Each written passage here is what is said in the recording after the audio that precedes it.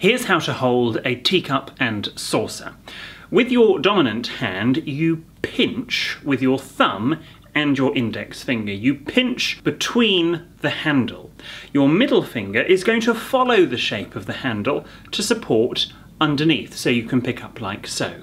We don't stick our little finger out, or indeed any other fingers, we just tuck them in. You want to be able to see the white, in this instance, of the top of the handle we're not ever going to hook our finger through and place our thumb on top. Now, when it comes to stirring your tea with your teaspoon, we don't stir going round and round because you can splash, and also if you've added any sugar, it doesn't dissolve very quickly. Instead, we go back and forward 612, and when we're finished, a gentle flick above the cup, and then setting it back in line with the handle.